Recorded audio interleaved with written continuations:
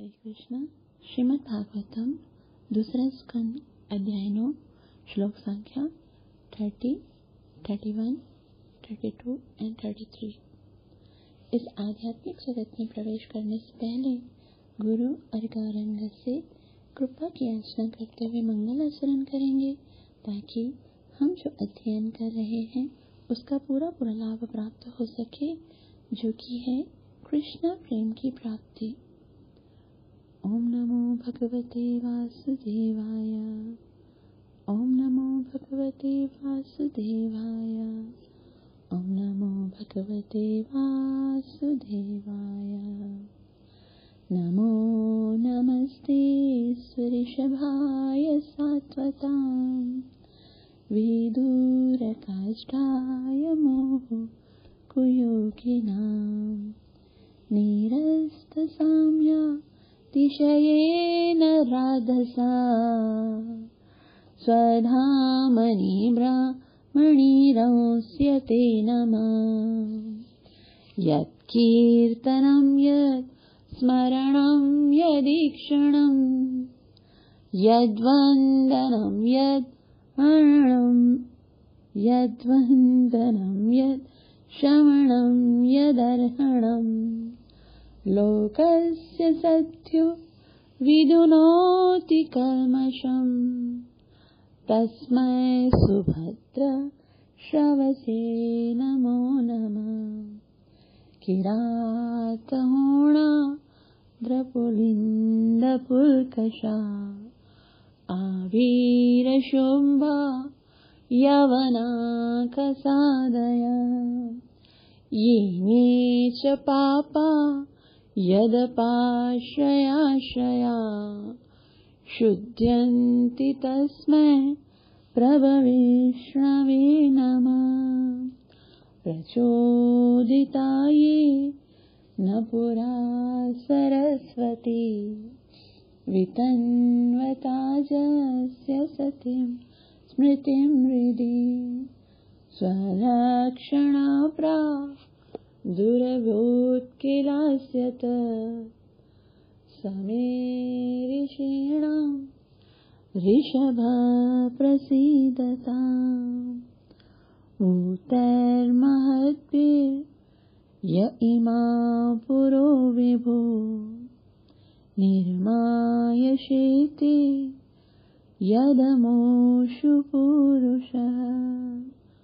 भुङ्क्ते गुणंशो दशषोडशात्मक सोऽलङ्कृशिश्च भगवान् वचंसि मे। नारायणं नमस्कृत्य नरं चैव नरोत्तमं। दैवीं सरस्वतीं व्यासं ततो जयमुदीरये। नष्टप्रायेषु अभद्रेषु नित्यं भागवतसेवया भगवती उत्तमश्लोके भक्तिरभवति नैष्टिके पञ्चतत्त्वात्मकं कृष्णं भक्तरूपस्वरूपकं भक्तावतारभक्ताख्यं नमामि भक्तशक्तिकम् जय श्रीकृष्ण चैतन्य प्रभो नित्यानन्द श्री अद्वैत गदाधर शिवासदि गौरभक्तवृन्द। हरे कृष्ण हरे कृष्ण कृष्ण कृष्ण हरे हरे हरे राम हरे राम राम राम हरे हरे। ग्रंथ आज श्रीमद भागवतम महापुराण की जय दूसरा स्कंद अध्याय नौ जिसका शीर्षक है श्री भगवान के वचन का उद्धरण देते हुए प्रश्नों का उत्तर। तो जैसा कि हमें श्लोक चैप्टर नंबर एट में परीक्षित महाराज ने भगवान से बहुत सारे प्रश्न किए और अभी अध्याय नौ में सुखदेव गोस्वामी उनके उत्तर दे रहे हैं। और, और उसमें एक प्रश्न ये था ब्रह्मा जी ने किस तरह से भगवान के दर्शन किए किस तरह से ब्रह्मा जी को भगवान ने ज्ञान दिया और कैसे इस सृष्टि का सृजन किया? तो उसी कथा को बताते हुए सुखदेव गोस्वामी ब्रह्मा जी के उत्पन्न होने के विषय में बताते हैं कि ब्रह्मा जी साक्षात भगवान के नाभि में से जो कमल उत्पन्न हुआ था, उसमें से उत्पन्न हुए और बहुत समय तक अपने स्रोत को न जानने के कारण वो वहीं कमल के ऊपर बैठे हुए थे तो अचानक उसको तप की आवाज़ आई, उन्होंने देवताओं के सौ वर्षों तक तप किया। उसके बाद भगवान ने उनको प्रसन्न होकर अपने वैकुंठ का दर्शन कराया, जहाँ पर हर प्रकार का सुख है, आनंद है, और कोई कष्ट नहीं, कोई दुख नहीं, कोई प्रॉब्लम नहीं। वहाँ पर ब्रह्मा जी ने बहुत कुछ देखा कि स्वर्ग लोक में किस तरह से सुंदर सुंदर बाग हैं, वहाँ पर सुंदर सुंदर देवी सुंदर सुंदर जो भगवान के पार्षद हैं, वो भगवान के जैसे ही दिखते हैं और वो सब भगवान की सेवा कर रहे हैं। बहुत ही आनंद है वहाँ पर और हर प्रकार का आनंद देखने, दिखा वहाँ पर। उसके उपरांत ब्रह्मा जी ने भगवान के दर्शन किए और भगवान अत्यंत ही मनोरम लग रहे थे और भगवान को देखकर ब्रह्मा जी बहुत प्रसन्न हुए, बहुत प्रसन्न हुए कि उनके नेत्रों से आँसू निकलने लगे। और ब्रह्मा जी ने, ब्रह्मा जी को भगवान ने कहा कि आपने बहुत ही सुंदर तरीके से तपस्या की है, मुझसे मांगो, आप क्या चाहते हो, मैं आपको हर बार दे सकता हूँ। लेकिन इतना फिर भी याद रखना कि मेरे दर्शन, मेरे गौरव की प्राप्ति से बड़ा और कुछ भी नहीं है। ब्रह्मा जी बहुत प्रसन्न हो रहे थे बार बार भगवान के चरण को स्पर्श करके उनको दंडवत कर रहे थे। भगवान ने ब्रह्मा जी से हाथ मिलाया था और ब्रह्मा जी को कृतार्थ कर दिया। उसके परंत ब्रह्मा जी ने भगवान को स्वयं पर प्रसन्न देखने के उपरांत भगवान से कहा आप तो सबके हृदय में बैठे हो तो आपको तो सबके विषय में पता है। तो आ, आ, मेरी आपसे ये प्रार्थना है कि मेरी एक इच्छा पूरी करके मुझे बताइए कि दिव्य रूप के होते हुए भी आप संसारी रूप किस प्रकार से धारण करते हैं? उसका जो आपका ऐसा कोई भौतिक रूप तो धारण है नहीं तो आप ये रूप कौन सा है जिसको आप धारण करते हो? और ये भी बताइए कि आप अपने से किस तरह से विभिन्न संयोग के द्वारा संहार उत्पत्ति तथा स्वीकृति तथा पालन की विविध शक्तियों को प्रकट करते हैं। आप आप तो इन सब माया के झांसल से छूटे हुए हो। फिर ये काल का प्रभाव है, पैदा होना, जन्म लेना, और उसके बाद क्षय होना, उसके बाद विनाश होना, ये सब जो है, वो तो वो तो भौतिक जगत का ही कार्य है। तो आप उसमें आ, कैसे आप आपके द्वारा ये सब होता है? और ये बताइए कि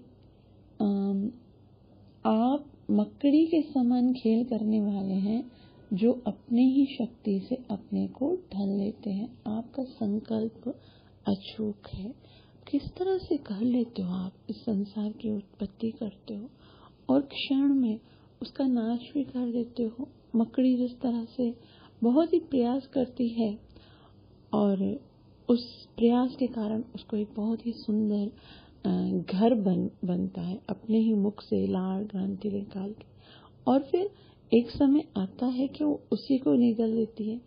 तो ब्रह्मा जी भगवान से कहते हैं, मुझे आप ये सब बताइए, क्यों क्यों जानना चाहते हैं? ताकि ब्रह्मा जी जान इसलिए जानना चाहते हैं, ताकि भगवान के विषय में जानने के बाद जो भगवान ने उनको आज्ञा दी है, क्या सृष्टि की सृष्टि सृजन करने के लिए तो वो ब्रह्मा जी चाहते हैं कि मुझे तो पता चले कि भगवान किस तरह से समस्त ब्रह्मांडों का, जीवों का प्राकटीकरण करते हैं और किसी भी वस्तु और व्यक्ति में उनका कोई भी अटैचमेंट नहीं है। तो अगर हमें भगवान के भगवान के मुख से ये सब सुनने को मिले तो उससे बढ़कर और कुछ नहीं, क्योंकि जैसे जैसे हम सुनते जाएँगे ना, वैसे वैसे हम भगवान के बहुत निकट आ जाएँगे। और ये भौतिक जो जंजाल है, उससे बहुत आगे निकल जाएँगे। इसलिए अधिक से अधिक हमें हृदय में ये ये इच्छा होनी चाहिए कि हम भगवान के विषय में सुने। तो उसके बाद ब्रह्मा जी भगवान को कहते हैं श्लोक नंबर थर्टी।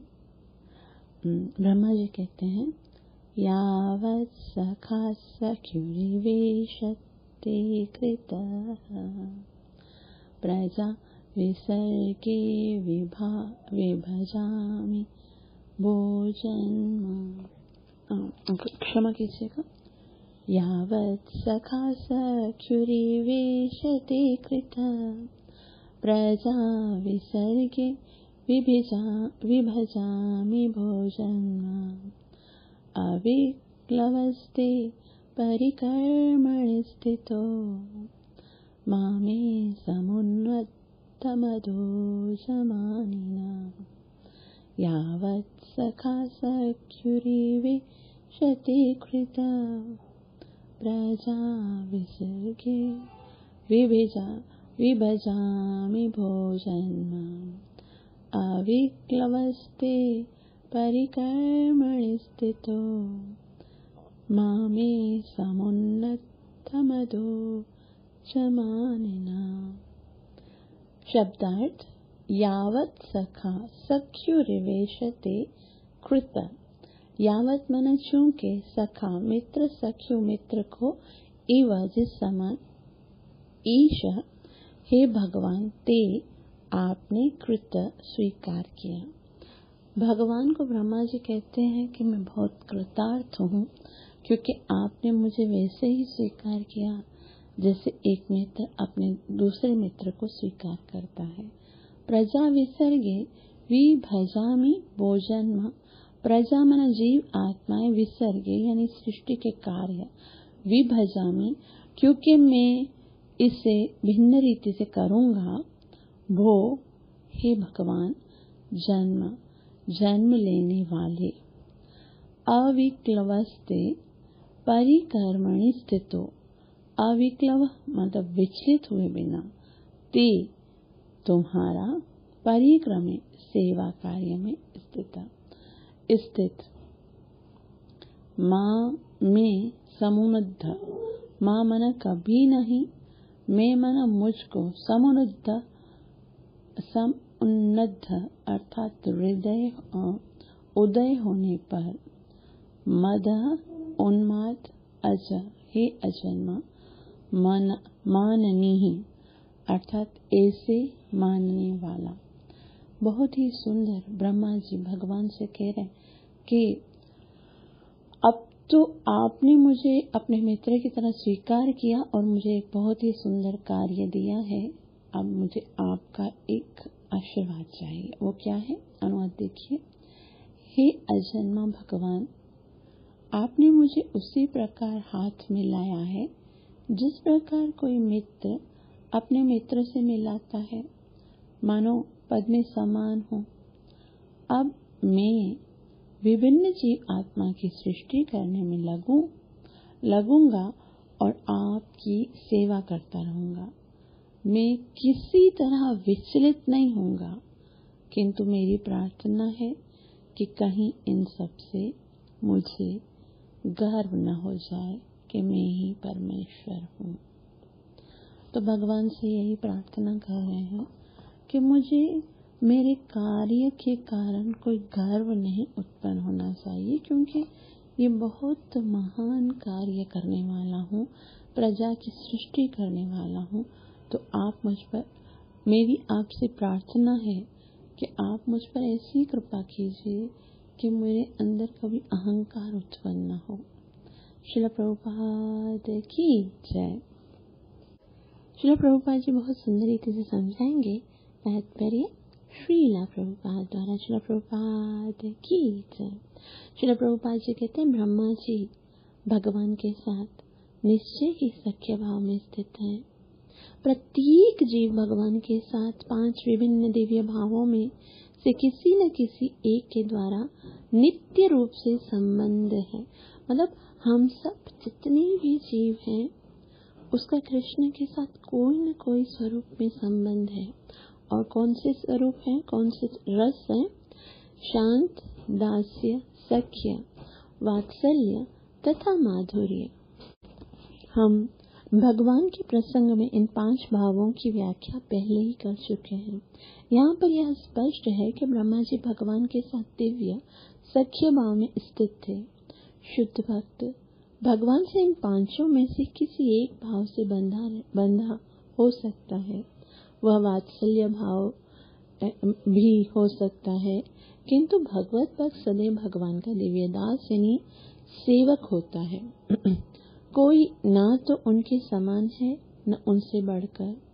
यही भगवत गीता की उक्ति है। यद्यपि भगवान के साथ ब्रह्मा जी का सख्य भाव है और उन पर विभिन्न योनि वाले जीवों को उत्पन्न करने का सर्वोच्च पद भार सौंपा गया है, किंतु उन्हें अपनी स्थिति का बोध निरंतर बना रहता है कि वे ना तो परमेश्वर हैं ना परम शक्ति संपन्न। संभव है कि इस ब्रह्मांड में या इसके बाहर कोई अत्यंत शक्तिशाली व्यक्ति भगवान से भी अधिक शक्तिशाली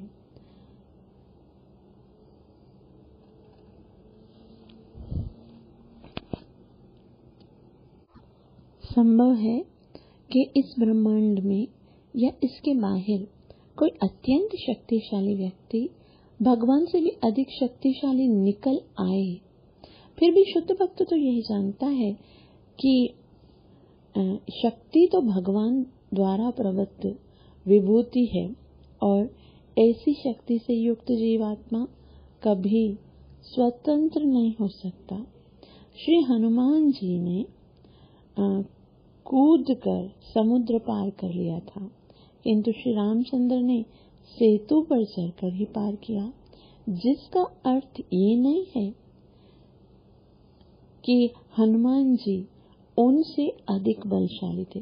कभी कभी भगवान भक्त को समान असामान्य शक्ति प्रदान करते हैं।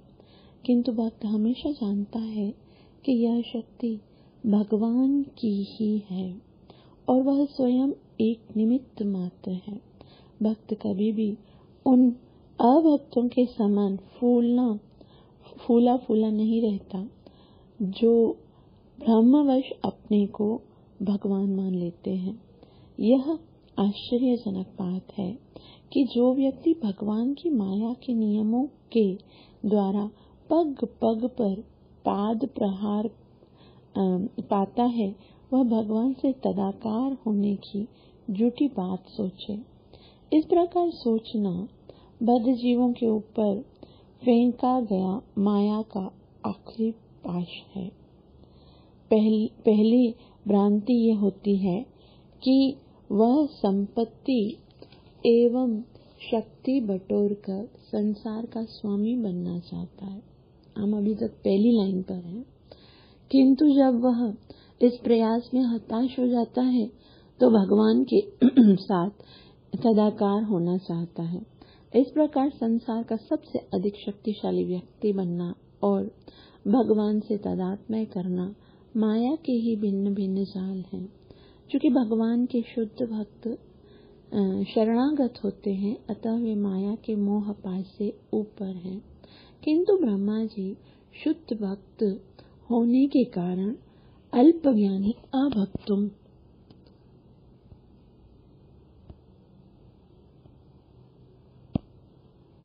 को भगवान से तदात्मय की बात के बारे में सोचना कभी पसंद नहीं करते। यद्यपि वे विश्व के आदि देव हैं और अनेक अद्भुत कार्य करने में सक्षम हैं। अल्पगानियों को जब वे ईश्वर होने के झूठे विचार से फूल उठते हैं, ब्रह्मा जी से शिक्षा ग्रहण करनी चाहिए। यहाँ श्री प्रभुपा जी बहुत ही सुंदर सुंदर बातें बता रहे हैं। सबसे पहले तो बताया कि भगवान के साथ हर एक जीव का एक संबंध है, चाहे वो सख्य हो, दास्य हो शांत भाव से हो, या फिर माधुर्य भाव से हो, या वात्सल्य भाव से हो। ये संबंध नित्य बना रहता है। हम जिस जिस संबंध को इस भौतिक जगत में खोजते हैं वास्तव में वो प्रेम वो संबंध केवल भगवान के साथ ही नित्य रूप से होता है। यहाँ भौतिक जगत में यही संबंध जो है, वो नित्य नहीं होते हैं। वो इसलिए वो हमारे दुख का कारण बनते हैं, है ना? क्योंकि एक दिन हम, हमें उनसे बिछड़ना पड़ता है, या फिर इन संबंधों में कहीं न कहीं दुख मिलता है तो वो हमारे दुख का कारण बनते हैं। लेकिन वास्तविक संबंध तो भगवान के साथ ही है। तो उसके अलावा भी भगवान भले किसी भी संबंध में जीव उनके साथ रहे, लेकिन जीव का जो नित्य कर्म है वो क्या है? जीवेर स्वरूप हो कृष्ण नित्य दास। वो भले किसी भी रूप में, किसी भी रस में सेवा कर सकता है। और भगवान के साथ ब्रह्मा जी का तो सख्य भाव था। और उनको बहुत ही महान काम सौंपा गया था। कौन सा काम सौंपा गया था कि उनको विश्व की सृष्टि करनी है। तो ये बहुत ही महान कार्य है। जैसे यहाँ श्री प्रभुपाद जी ने एक बात ऐसी बताई है कि अगर कोई कोई भी व्यक्ति, कोई भी जीव आत्मा बहुत महान कार्य करे, बहुत बहुत महान कार्य। हो सकता है वो कार्य भगवान के कार्यों से भी महान हो। लेकिन फिर भी हमको ये समझना है, ये हमेशा याद रखना है कि जिसको भी शक्ति प्राप्त होती है, भगवान के द्वारा ही प्राप्त होती है। जिसकी बहुत ही सुंदर एग्ज़ाम्पल श्री प्रभुपाद जी ने दी हनुमान जी के द्वारा। श्री राम नहीं पार कर पा रहे थे जंप करके उस महासागर को। लेकिन राम भक्त हनुमान ने केवल भगवान श्री राम का नाम लेकर ही उस भवसागर को उस बड़े समुद्र को पार कर लिया। तो इसका मतलब ये नहीं निकालना चाहिए कि हनुमान जी के पास अधिक शक्ति है।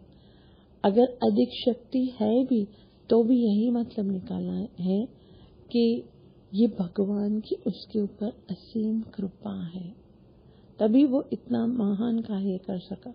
और भक्त पे ऊपर जब भक्त के प्रयास को भक्त की भक्ति को भक्त की साधना को भगवान देखते हैं ना तो भगवान उसके ऊपर इतनी कृपा करते हैं इतनी कृपा करते हैं कि वो भक्त ऐसे से कार्य कर सकता है कि संसार देख के हैरान हो जाता है कि ये ये एक व्यक्ति एक साधारण व्यक्ति इतना महान काम, काम कैसे कर सकता है। तो हमें भगवान कुछ भी दे सकते हैं सिर्फ़ हमें अपनी सेवा और साधना को प्योर करना है। रूपा जी एक महत्वपूर्ण बात ये बताते हैं कि कभी भी भगवान के साथ मिलकर एक होने की बात नहीं सोचनी चाहिए। जीव का अलग अस्तित्व है, उसे सदैव व्यष्ट जीव आत्मा, अर्थात इंडिविजुअल रहकर भगवान की सेवा करनी है। तदात्मय या भगवान के साथ मिलकर एक होना माया का ही एक जाल है। श्री प्रभुपा जी बताते, पहले तो क्या सोचता है जीव कि शक्तियाँ बटोर कर संसार का स्वामी बन जाए? लेकिन जब वो ये नहीं कर पाता है, क्योंकि माया का आक्रमण होता है, कितना शक्तियाँ बटोरेगा? कभी तो पग पग पर उसके जीवन में असफलता आती है। पदम पदम यद विपदा। हर समय उसको विपता दिखती है। तो उसे लगता है कि ये शक्ति शक्तियाँ बटोर कर भौतिक जगत में आनंद नहीं आएगा। क्या करना चाहिए? फिर तो भगवान के अंदर मिलकर एक हो जाना चाहिए, ताकि भगवान जैसा ही शक्तिशाली हो जाए। श्री प्रभुपा जी बोलते हैं, ऐसे व्यक्तियों को ब्रह्मा जी से कुछ सीख लेनी लेनी चाहिए कि इतना महान व्यक्ति है, फिर भी भगवान के साथ दास भाव में भगवान की सेवा करता है। श्री प्रभुपा जी कहते हैं, वस्तुतः ब्रह्मा जी जीव आत्माओं को उत्पन्न नहीं करते उन्हें सृष्टि के प्रारंभ में यह अधिकार दिया गया कि वे जीव आत्माओं को पूर्व कल्प में किए गए कर्मों के अनुसार शरीर प्रदान करें। ब्रह्मा जी का कार्य इन जीव आत्माओं को निद्रा से जगाकर उन्हें उनके समुचित कार्यों में लगाना है। ब्रह्मा जी, जीव आत्माओं की सृष्टि मन माने ढंग से नहीं करते, अपितु उन्हें विविध प्रकार के शरीर प्रकट करने का कार्यभार सौंपा गया है, जिससे वे तद अनुसार कर्म कर सकें। इतने पर भी ब्रह्मा जी को इसका बोध बना रहता है। वे निमित्त मात्र हैं, जिससे वे अपने को परमेश्वर न मान बैठे। असल में ब्रह्मा जी ने जीव आत्माओं को कभी भी उत्पन्न नहीं किया। जीव आत्माएँ तो सृष्टि के आरंभ से ही हैं, क्योंकि भगवान भगवत गीता में बताते हैं, न जायते। जीव आत्मा का कभी जन्म नहीं होता है वो तो स्टार्ट से है। ब्रह्मा जी क्या करते हैं? ब्रह्मा जी जीव आत्मा को पूर्व कल्प में उन्होंने जो कार्य किए हैं, उनके अनुसार एक शरीर प्रदान करते हैं।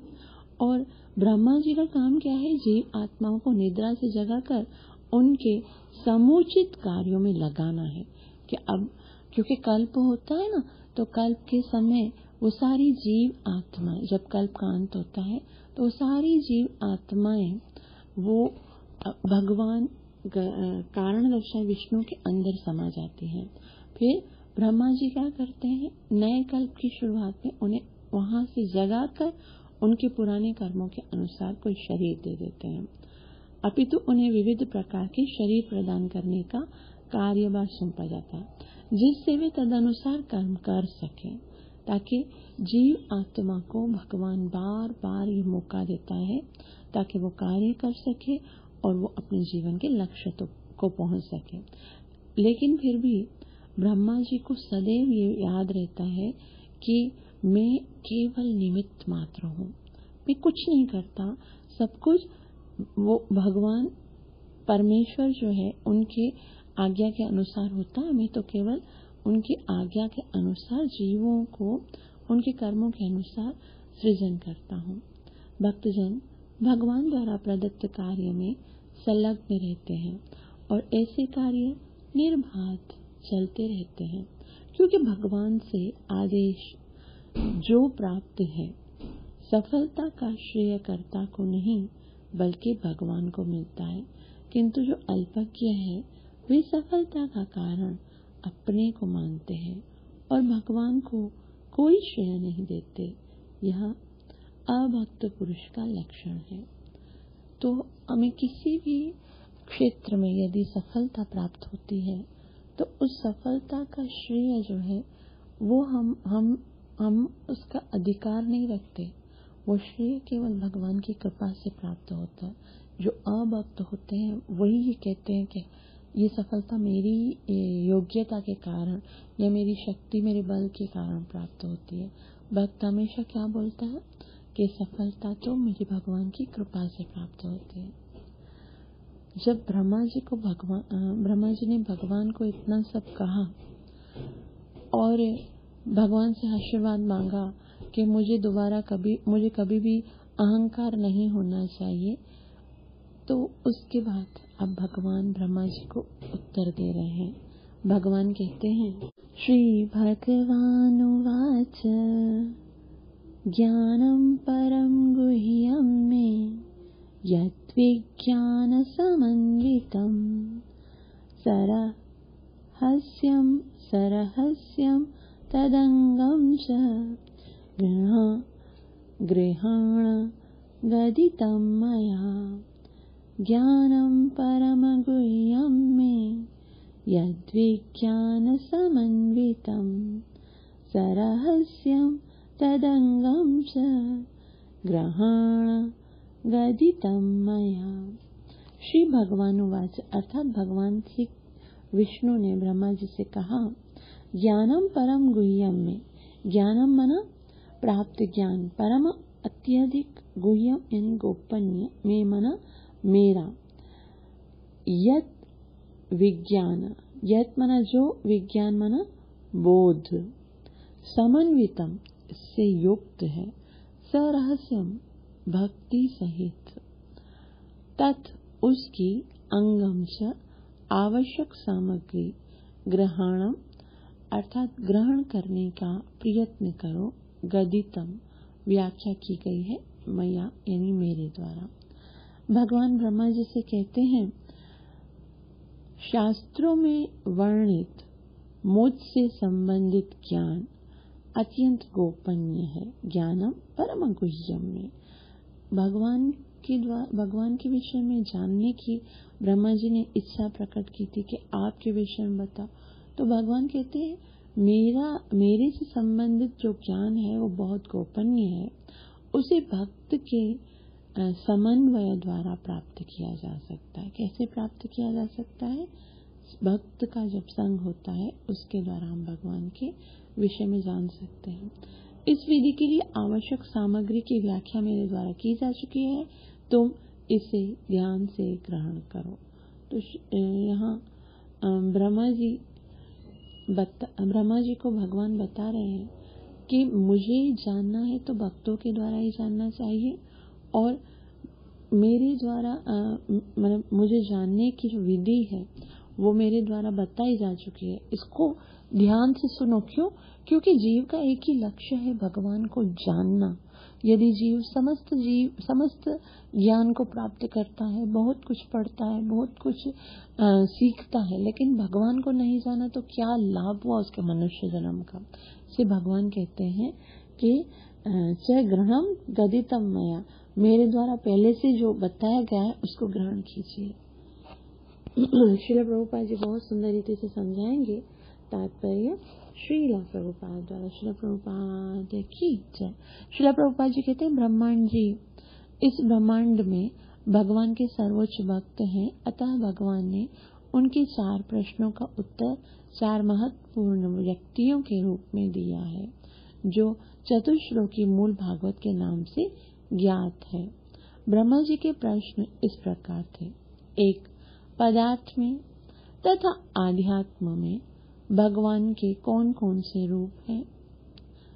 दूसरा सवाल, भगवान की विभिन्न शक्तियाँ किस प्रकार कार्य करती हैं? तीसरा सवाल, भगवान अपनी शक्ति को किस प्रकार संचालित करते हैं? और चौथा सवाल, ब्रह्मा को उन्हें सौंपे गए कार्य के संबंध में किस प्रकार आदेश किया जाए? इन प्रश्नों का पूर्वाभास इस श्लोक में मिलता है। ब्रह्मा जी को सूचित करते हैं कि शास्त्रों में वर्णित भगवान विषय ज्ञान अत्यंत सूक्ष्म है और जब तक कोई भगवत कृपा से स्वरूप सिद्ध न हो, उसे समझ नहीं सकता। भगवान कहते हैं कि जिस तरह वे व्याख्या करते जाएँ, उससे वे उत्तर के रूप में ग्रहण करते जाएँ। इसका अर्थ यह हुआ कि परमेश्वर संबंधी दिव्य ज्ञान को तभी प्राप्त किया जा सकता है जब भगवान स्वयं उसे प्रदान करें बड़े से बड़े संसारी चिंतक भी चिंतन द्वारा परम सत्य भगवान को नहीं समझ पाते चिंतन से निर्गुण ब्रह्म का साक्षात्कार तो हो सकता है, किंतु वस्तुतः पूर्ण दिव्य ज्ञान को निर्गुण ब्रह्म के ज्ञान के परे है इसीलिए इसे परम गुह्य ज्ञान कहा गया है। अनेक मुक्त जीवों में से विरला ही भगवान को जान पाने का अधिकारी होता है। श्रीमद् भगवत गीता में स्वयं भगवान ने कहा है कि लाखों में से कोई एक मनुष्य सिद्धि प्राप्त करता है और कर, करने के लिए प्रयत्न करता है और इनके मुक्त जीवों में से अनेक मुक्त जीवों में से कोई एक ही है जो उन्हें जान पाता। अतः केवल भक्ति द्वारा ही भगवान को जाना जा सकता है। यहाँ श्री जी एक बहुत ही सुंदर बात बता रहे हैं कि जो ब्रह्मा जी ने स्पेशल चार सवाल पूछे थे और उसका उत्तर जो भगवान ने दिया है, उसको चतुर्श्लोकी भागवत कहा जाता है। पहला प्रश्न क्या कहा था? पदार्थ में तथा आध्यात्म में भगवान के कौन कौन से रूप हैं? भगवान के स्वरूप के बारे में पूछा। और भगवान की शक्तियाँ किस प्रकार कार्य करती हैं उसके विषय में? भगवान अपनी शक्तियों में किस प्रकार संचालित करते हैं उसके विषय में? और ब्रह्मा को सौंपे हुए जो कार्य, यानी सृजन का कार्य संबंध में इस, किस प्रकार से उसे आदेश प्राप्त आदेश कैसे मिलेगा? उसके विषय में। तो ये सारे सवाल जब भगवान ने पूछे ब्रह्मा जी ने पूछे तो आज भगवान क्या कह रहे ज्ञानम परम गुह्यम में यद विज्ञान समन्विता। कि मेरे विषय में ज्ञान जो है वो बहुत बहुत ही गुह्य है। हर कोई इस ज्ञान को प्राप्त करने के योग्य भी नहीं होता। जैसे भगवान बोलते हैं मनुष्य मनुष्याणाम सहस्रेशु कश्चित यतति सिद्ध यतताम अपनी सिद्धाना कश्चित माम वेति तत्वता हज़ारों में से कोई एक सिद्धि के लिए प्रयत्न करता है और इन सिद्धि प्राप्त करने वालों में से कोई एक मुझे वास्तव में जानता है। इसे श्री प्रभुपा जी कहते हैं। अतः केवल भक्ति द्वारा ही भगवान को जाना जा सकता है। रहस्यम का अर्थ है भगवत भक्ति। सरहस्यम तदंगम च। तो भगवान को जानने के लिए बुद्धि की आवश्यकता नहीं है, बल्कि भक्ति की आवश्यकता है। जितनी शुद्ध रीति से हम अपनी भक्ति साधना करेंगे, उतना ही हम भगवान को समझ पाएँगे। श्री कृष्ण ने अर्जुन को भगवत गीता का उपदेश इसीलिए दिया क्योंकि अर्जुन उनका भक्त था तथा मित्र था। भगवान कहते हैं भक्तोसी में सखा चेती रहस्यम हेत्यादुत्तम तू मेरा भक्त है तथा मित्र है इसीलिए तुझे दिव्य रहस्य समझा रहा हूँ। ऐसी योग्यता के बिना श्रीमद भगवत गीता के रहस्य को नहीं समझा जा सकता।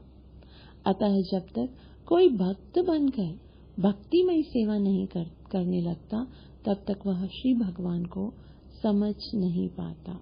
कोई कोई लोग चैलेंजिंग मूड में अपनी बुद्धि के द्वारा भगवान को समझना चाहते हैं। क्या ऐसा संभव है? बुद्धि के द्वारा तो बहुत सारी भौतिक वस्तुओं को भी नहीं समझा जा सकता है। तो भगवान तो परम सत्य है एब्सोल्यूट ट्रुथ है स्पिरिचुअल है, वो हमारी इस भौतिक बुद्धि से भला कैसे पकड़े जा सकते हैं? तो उनको केवल और केवल भगवान की जब प्यार से भक्ति की जाती है, तभी उनको समझा जा सकता है। यह रहस्य ईश्वर प्रेम है। श्री भगवान को जानने का रहस्य इस योग्यता में निहित है ईश्वर के दिव्य प्रेम को प्राप्त करने के लिए भक्ति संबंधित विधि विधानों का पालन आवश्यक है। इन विधि विधानों को वेदी भक्ति कहा जाता है और नवदीक्षित भक्त अपनी वर्तमान इंद्रियों में से इनका पालन करता है। ऐसे विधि विधान मुख्यतः भगवान की महिमा के श्रवण तथा कीर्तन पर आधारित है, जिनका पालन भक्तों की संगति द्वारा ही संभव है। तो श्री प्रभुपा जी बता रहे कि भगवान को समझने के लिए, उसके प्रेम को प्राप्त करने के लिए विधि विधान, वैधि भक्ति प्रारंभ करनी चाहिए, अपनी इंद्रियों को वेदी भक्ति में लगाना चाहिए, और उसकी, उसके प्रारंभ कहाँ से होता है? श्रवण से। जब हम भगवान के विषय में श्रवण करेंगे और भगवान का कीर्तन, भगवान के पवित्र नाम का कीर्तन करेंगे, भगवान की कथाओं को श्रवण करेंगे, तभी हम, हमारे हृदय में भगवान के प्रति प्रेम उत्पन्न होगा। और ऐसी विधि विधान की जो भक्ति है श्री प्रभुपा जी बोलते हैं, भगवान की महिमा के श्रवण तथा कीर्तन पर आधारित है, जिनका पालन भक्तों की संगति के द्वारा ही संभव है। जब भक्त मिलेंगे तभी तो श्रवण करने के लिए गीता या भागवतम प्राप्त होगा। और उसके साथ साथ भक्त होंगे तभी तो मिलकर हम संकीर्तन करेंगे। आगे श्री प्रभुपा जी कहते हैं, फलतः भगवान श्री चैतन्य महाप्रभु ने भगवान की भक्ति में पूर्णतया पाने के लिए पाँच मुख्य नियमों की संस्तुति की है। पाँच नियम हैं। यदि हम उसको पूरा करते हैं तो हमें भगवान की भक्ति प्राप्त होती है। और वो कौन से हैं?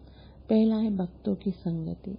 सबसे ज़्यादा महत्वपूर्ण, अगर भक्ति में आगे बढ़ना है तो भक्तों का संग हमें बहुत शीघ्रता से भक्ति में आगे बढ़ाएगा। प्रभुपाल जी कहते हैं कि आपको जैसा बनना है, ऐसे लोगों का संग स्टार्ट कर दो। अगर भक्त बनना है तो भक्तों की संगति करो। और जैसा, जैसे लोगों की संगति की जाती है, वैसा स्वभाव हो ही जाता है। जैसा संग, वैसा रंग। इसलिए पहली जो बात चैतन्य महाप्रभु ने बताई है, वो क्या है? भक्तों की संगति। दूसरा, भगवान की महिमा का कीर्तन। जब संगति होगी तो हम भगवान के पवित्र नाम का, भगवान की लीलाओं का संकीर्तन करेंगे। तीसरा है, शुद्ध भक्त से श्रीमद भागवतम सुनना। जब हम भागवतम श्रवण करेंगे तो उससे हमारी भक्ति बढ़ेगी। चौथा, भगवान से संबंधित किसी पवित्र स्थान में वास करना, यानी दामवास। और पांचवा है, भक्ति सहित भगवान के श्री विग्रह को पूजना। ऐसे विधि विधान भक्तिमय सेवा के अंग स्वरूप है। अतः ब्रह्मा जी की प्रार्थना के अनुसार भगवान इन चारों प्रश्नों तथा उनके अंगभूत प्रश्नों के विषय में अपनी व्याख्या प्रस्तुत करेंगे। अब भगवान जो है, अब भगवान ब्रह्मा जी से ये बताएँगे कि भगवान भगवान को ब्रह्मा जी कैसे जान सकते हैं? या कोई भी जीव आखिर भगवान को कैसे जान सकता है? भगवान कहते हैं यावान हम यथा भावो, यद्रूप गुणकर्मक। तथैव तत्त्वविज्ञानम् अस्तु ते मत् अनुग्रहात् यावानहं यथा भावो, यद्रूपगुणकर्मकः। तथैव तत्त्वविज्ञानम् अस्तु ते मत् अनुग्रहात् यावानहम यथा भावो, यावाहन यावान का मतलब होता है मेरे जितने दिव्य रूप हैं। अहम, यानी मैं। यथा जिस प्रकार भाव मतलब दिव्य अस्तित्व। भगवान के स्वरूप, भगवान का अस्तित्व, यत, उन रूप, यानी विभिन्न रूपों तथा रंगों, गुण, यानी गुण, कर्म का मन कार्य। भगवान के रूप, भगवान के गुण, भगवान का भगवान की दिव्यता, भगवान के कार्य, तथा उसी प्रकार एवं निश्चय ही तत्व विज्ञान, वास्तविक बोध। अस्तु यानी हो ते तुमको मत अनुग्रहात। मेरी अहितु की कृपा से। तो भगवान के विषय में जो बोध है, जो ज्ञान है, वो केवल और केवल भगवान की कृपा से, अनुग्रह से ही संभव है। अतः श्री कृष्ण नाम आदि न भवेत ग्राह्य मेन्द्रिय सेवा मुखे ही जिवादो स्वयं एवं सुफोट यदा जब जीव की सेवा से भगवान प्रसन्न होते हैं तो स्वयं सुफूर्त होते हैं। जीव के अंदर ऐसी शक्ति नहीं है कि भगवान को जान सके। तो भगवान अपने अनुग्रह से से ही जाने, जाको देहो जनाए। भगवान को केवल वही जान सकता है, जिसको भगवान जानने के लिए कृपा करते हैं, अनुग्रह करते हैं। श्री प्रभुपाल जी बहुत सुंदर रीति से समझाएँगे तात्पर्य श्रीला प्रभुपाद द्वारा। शिला प्रभुपाद की जय शिला प्रभुपाद जी कहते हैं, परम सत्य भगवान विषय ज्ञान की दुर्हता को समझने में सफलता का रहस्य भगवान की अहितु की कृपा है। कैसे समझ सकते हैं? जब भगवान जीव पर कृपा करेंगे। भौतिक जगत में भी जिस प्रकार अनेक पुत्रों का पिता अपने किन्हीं लाडले पुत्रों को ही अपने पद का रहस्य बताता है। पुत्रों में से जिसे वह योग्य समझता है, उससे ही उद्घाटन करता है। समाज में महत्वपूर्ण मनुष्य अपनी दयालुता के द्वारा जाना जाता है। इसी प्रकार भगवान को जानने के लिए मनुष्य को उनका अत्यंत लाडला होना चाहिए। बहुत सुंदर बात आशा प्रभुपा जी बताते हैं कि संसार में भी देखते हैं, जो पुत्र बहुत लाडला होता है, जो बहुत प्यारा लगता है, उस पर हर हर रहस्य, शिष्य अगर लाडला होता है तो गुरु उसको संपूर्ण रहस्यमय बातें बता देते हैं।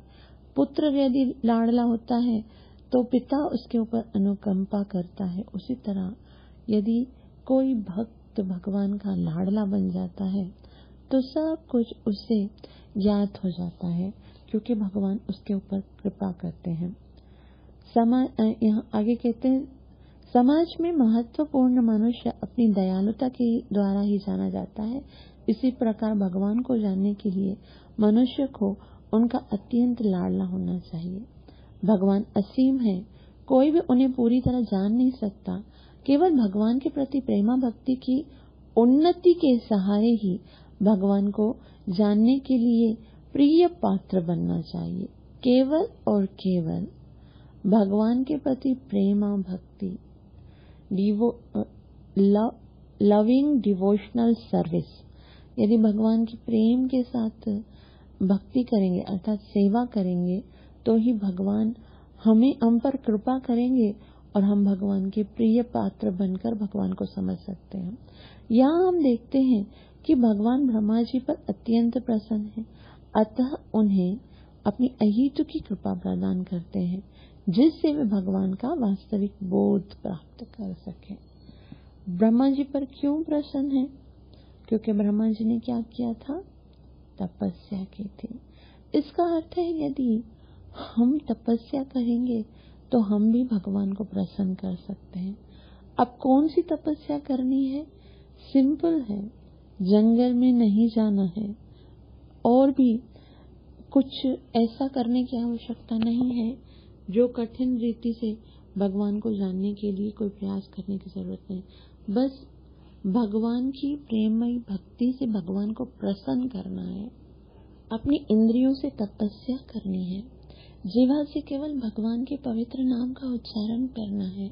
कर्णों से भगवान की कथाओं को श्रवण करना है। हृदय में किसी के लिए द्वेष या निंदा भाव नहीं रखना है। सबके प्रति स्नेह और करुणा का भाव रखना है।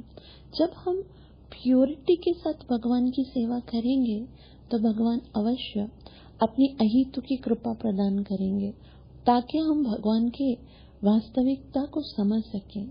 ये मनुष्य जीवन मिला ही इसलिए है। वेदाइश सर्वे अहमेव वेद्यो, कि हम भगवान को जान सकें, और वो तभी संभव है, जब हम भगवान की प्रेममयी सेवा करते हैं। वेदों में भी कहा गया है कि कोई मनुष्य केवल सांसारिक शिक्षा या बौद्धिक अभ्यास से परम सत्य परमेश्वर को नहीं जान सकता। प्रमाणिक गुरु तथा भगवान में अटल विश्वास होने पर ही परम सत्य परमेश्वर को जाना जा सकता है। भगवान भी कहते हैं, न हम वेदाय, न तपस्या, न दाने, न चेचया न वेद पढ़ने से, न तपस्या करने से, न दान करने से और न ही से, पूजा करने से मुझे प्राप्त किया जा सकता है। भक्तिया अनन्य शक्य। केवल अनन्य भक्ति के द्वारा ही भगवान को जाना जा सकता है। भगवान के अंदर अटल विश्वास होना चाहिए कि कृष्ण कृष्ण अवश्य मेरा कल्याण करेंगे, कृष्ण अवश्य मेरा उद्धार करेंगे। मेरा काम सिर्फ़ और सिर्फ़ कृष्ण को प्रसन्न करने के कार्य करने हैं। बाकी जो भी वो करेंगे, उसी में मेरा कल्याण होगा। तो यहाँ श्री प्रभुपाल जी बता रहे प्रमाणिक गुरु तथा भगवान में अटल विश्वास होने पर ही परम सत्य परमेश्वर को जाना जा सकता है। ऐसा विश्वास कि जो भी करेंगे वो, उसी में मेरा कल्याण है। और मुझे भगवान की भक्ति करनी है, भगवान से प्रेम करना है। ऐसा श्रद्धालु व्यक्ति भले ही संसारिक दृष्टि से अशिक्षित क्यों न हो? भगवत कृपा से भगवान की स्वतः, भगवान को स्वतः जान सकता है। उसके लिए ज़रूरी नहीं कि बहुत ज़्यादा बुद्धिमान हो, शिक्षित हो, बहुत ज़्यादा एजुकेटेड हो। नहीं, वो भले कैसा ही हो, अज्ञानी ही क्यों न हो, यदि भगवान उसके प्रेम से, उसकी भक्ति से प्रसन्न हो जाते हैं तो वो भगवान को भी समझ सकता है, भगवान को भी जान सकता है। भगवत गीता में कहा गया है कि भगवान कि यह भगवान पर निर्भर करता है कि वह किसके सामने प्रकट हो और किसके सामने समक्ष ना हो।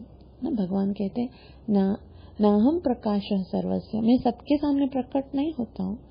वे अपनी योग माया शक्ति से अपने को अश्रद्धालु लोगों अश्रद्धालुओं से छिपा कर रखते हैं। है ना? भगवान कहते हैं, योग माया समावता मूढ़ो यम न भी जानाती। जो बेवकूफ़ हैं, जो जानना नहीं चाहते, जिनके अंदर भगवान के प्रति श्रद्धा नहीं है, जो प्रेम नहीं करते, भगवान उनके सामने प्रकट नहीं होते। भगवान की मर्ज़ी है। तो भगवान को समझने का केवल एक ही तरीका है कि भगवान से प्रेम करें भगवान के आदेशों का पालन करें, तभी हम भगवान को जान सकते हैं। और अगर भगवान को नहीं जाना तो हमारे संसार में आना ही व्यर्थ है। आगे श्री प्रभुपा जी कहते हैं, जो श्रद्धालु हैं, उनके समक्ष भगवान अपना रूप, गुण तथा लीलाएँ प्रकट करते हैं। भगवान निर्विशेष नहीं है, जैसा कि निर्विशेषवादी सोचते हैं। किंतु उनका वह रूप नहीं होता है जिसका हम अनुभव करते हैं, वे अपने के क्षमा, अपने भक्तों के समक्ष अपना रूप यहाँ तक कि अपनी परमाप भी प्रकट करते हैं और यावान का यही अर्थ है कि जैसा कि श्रीमद् भागवतम के महान पंडित शिला जीव गोस्वामी ने बताया है भगवान अपने अस्तित्व की दिव्य प्रकृति को उद्घाटित करते हैं। संसारी विवाद भगवान के रूप की संसारी अवधारणा बनाते हैं। शास्त्रों में बताया गया है कि भगवान का कोई संसारी रूप नहीं है, अतः जो अल्प ज्ञानी है, वे इस निष्कर्ष पर पहुँचते हैं कि भगवान निराकार, यानी निर्विशेष है।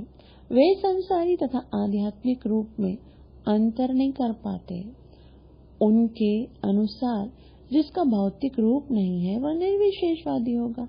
यह निष्कर्ष भी संसारी है, क्योंकि रूप रूपहीनता, रूप की विपरीत अवधारणा ही है। संसारी अवधारणा को नकारने से दिव्य स्वरूप स्थापित नहीं होता। अब यहाँ श्री प्रभुपा जी बोलते शास्त्र क्या कहता है? भगवान का कोई सांसारिक या ऐसा हमारे जैसा स्वरूप नहीं है। तो ऐसा स्वरूप नहीं है, इसका मतलब ये थोड़े कि भगवान का स्वरूप ही नहीं है। है ना? भगवान का स्वरूप है, मगर भगवान का स्वरूप दिव्य है। तो रूपहीनता, रूप की विपरीत अवधारणा ही है। जो ये सोचते हैं उनका कोई रूप ही नहीं है तो वो भी तो रूप का ही एक अपोजिट विचार है कि भाई ऐसा निराकार स्वरूप है। तो संसारी अवधारणा को नकारने से दिव्य स्वरूप स्थापित नहीं होता है।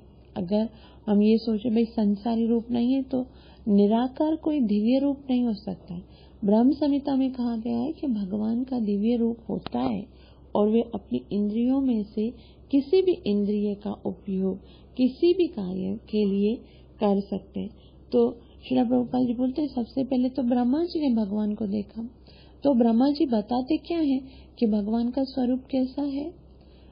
भगवान का स्वरूप अंगनी सकलेन्द्रियवेत्ति मान्ति, पश्यन्ति पान्ति कल्यन्ति चिराम जगांति कि भगवान का इतना सुंदर स्वरूप है कि वो हर एक अंग से दूसरे अंग का कार्य कर सकते हैं। हम आँखों से केवल देख सकते हैं, कानों से केवल सुन सकते हैं। मगर भगवान का रूप हमारी तरह जड़ नहीं है, भगवान सचित आनंद है। तो जिस इंद्रिय से जो कार्य करना चाहे, वो कर सकते हैं। उदाहरणार्थ, वे अपने नेत्रों से भोजन कर सकते हैं, अपने पाओ से देख सकते हैं। रूप की संसारी धारणा में कोई ना तो आँख से खा सकता है, न ही पाओ से देख सकता है। संसारी शरीर तथा सचित आनंद के दिव्य शरीर में यही अंत है। आध्यात्मिक शरीर रूप विहीन नहीं होता, यह भिन्न प्रकार का होता है, जिसके विषय में हम अपनी संसारी इंद्रियों से धारणा नहीं बना सकते।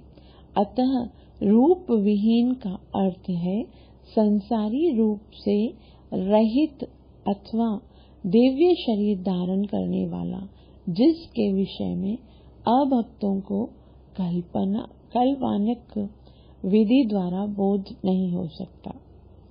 तो यहाँ शिला प्रभुपा जी बता रहे कि रूप विहीनता का मतलब ये नहीं है कि भगवान का स्वरूप ही नहीं है, भगवान का दिव्य शरीर है।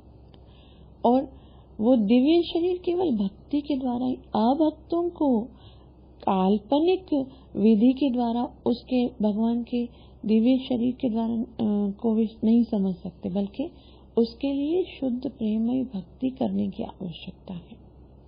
आगे श्री प्रभुपा जी कहते हैं, भगवान अपने भक्तों के समक्ष अनंत प्रकार के दिव्य शरीर प्रकट करते हैं, जो एक दूसरे के समान होते हुए भी स्वरूपों में से भिन्न होते हैं।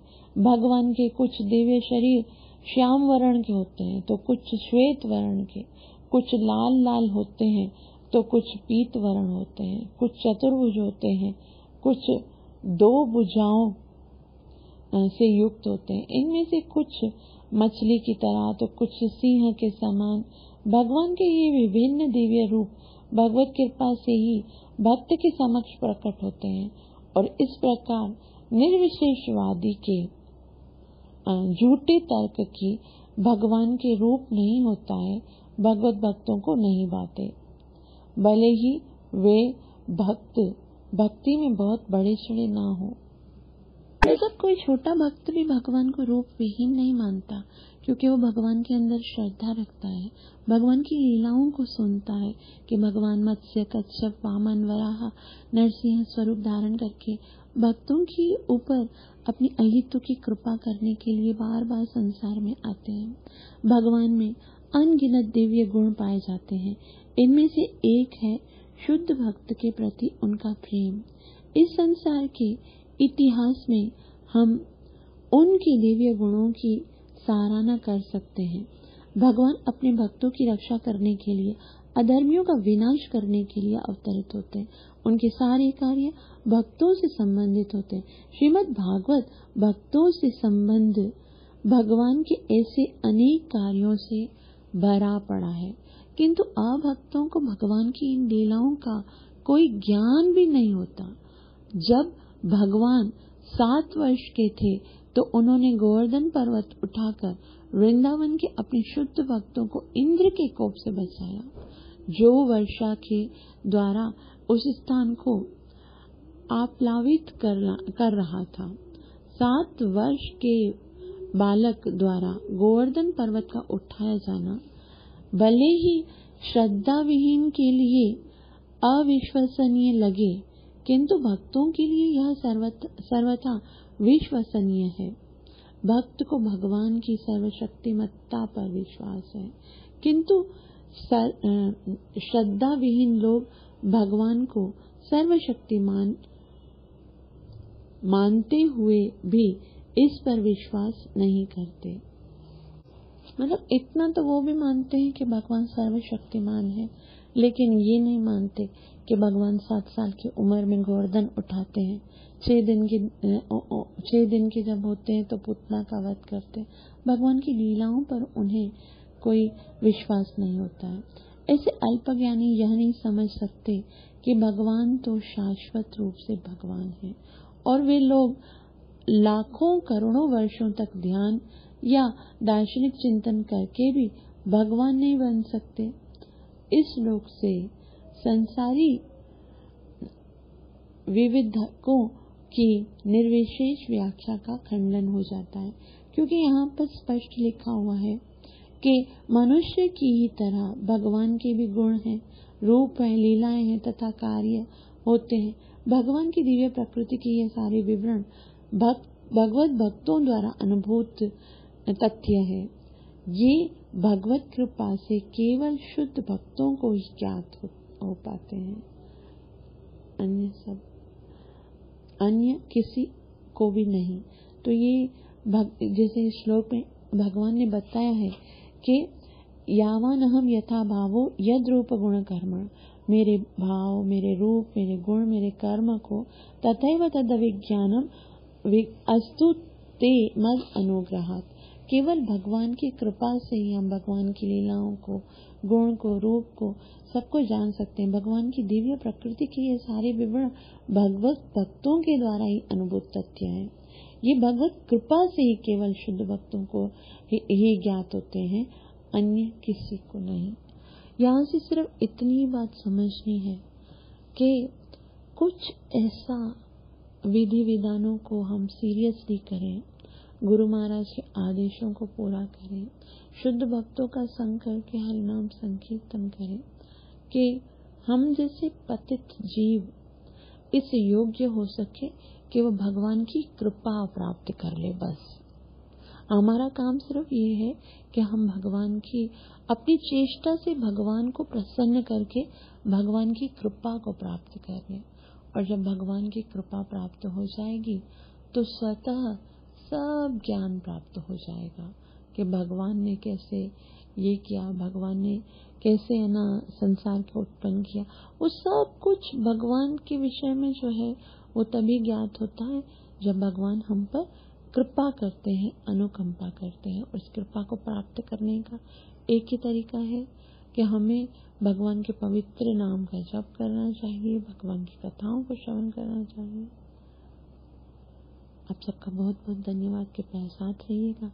मेरे लिए प्रार्थना अवश्य कीजिएगा कि मैं अपनी सेवा और साधना को अच्छे से कर सकूँ। हरे कृष्णा हरे कृष्णा, कृष्ण कृष्ण, हरे हरे।